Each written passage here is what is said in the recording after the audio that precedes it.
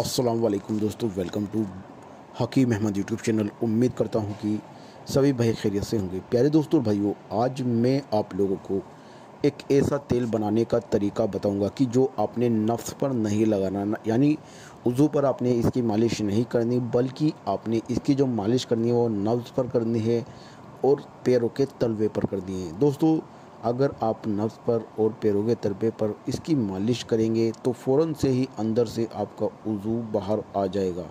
जी हाँ दोस्तों, बहुत ही ज़बरदस्त तेल आज मैं आप लोगों को बताने वाला हूँ, किस तरह से ये बनाना है क्या क्या इसमें मिलाना है, सब चीज़ें आज मैं आप लोगों को बताऊँगा और इस्तेमाल करने का तरीका भी बताऊँगा कि किस तरह से आप इसको अपने तलवों पर और अपनी नब्ज़ पर लगाएँगे तो कैसे ये आपके उज़ू को लंबा करेगा? दोस्तों, नब्ज़ वो होती है जो आपके बाजू के बाजू के बराबर में होती है। वो आप उस जगह आपने अपनी नब्ज़ पर इसको लगाना है।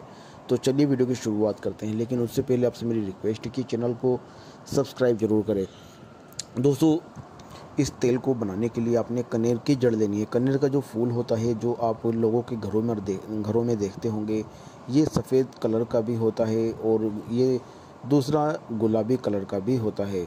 अगर आपको ये किसी के घर में मिल जाए तो आपने इसकी जड़ ले लेनी है। और अगर आपको ये नहीं मिलता तो फिर आपने पंसार स्टोर पर जाकर वहाँ से इसकी जड़ ले लेनी है। ये आपने दो तोला लेनी है। इसके बाद आपने देसी गाय का घी लेना है। दोस्तों, घी को आपने कनेर की जड़ में मिलाकर इसको कूटना है। दोस्तों, जब ये अच्छी तरह से कूट जाए, दोनों चीज़ें एक जिस्म हो जाए, यानी आपने इनको हिमाम जस्ते में डालकर इतना कूटना है, इतना कूटना है कि दोनों चीज़ें मिक्स हो जाए। तो आपने इसको अपनी बाजू पर और अपने पैरों के तलवे पर लगाना है। आपने ज़्यादा नहीं लगाना, थोड़ा ही लगाना है, क्योंकि रोज़ाना आपने इसको लगाना है, पंद्रह से बीस दिन तक आपने इसको लगाना है। यकीन मानिए, जब आप इसको लगाएँगे तो फ़ौर से ही आपका वज़ू अंदर से बाहर आ जाएगा। यानी इसकी जो गरमाइश होगी, जो ये तेल होगा, इसका जो असर होगा, वो आपके वज़ू तक पहुँचेगा और वज़ू फ़ौर से ही अंदर से बिल से बाहर आ जाएगा। तो बहुत ही ज़बरदस्त चीज़ आज मैंने आपको बताई है। उम्मीद करता हूँ आपको वीडियो पसंद आई होगी। अगर आपको वीडियो पसंद आई तो चैनल को सब्सक्राइब ज़रूर करें।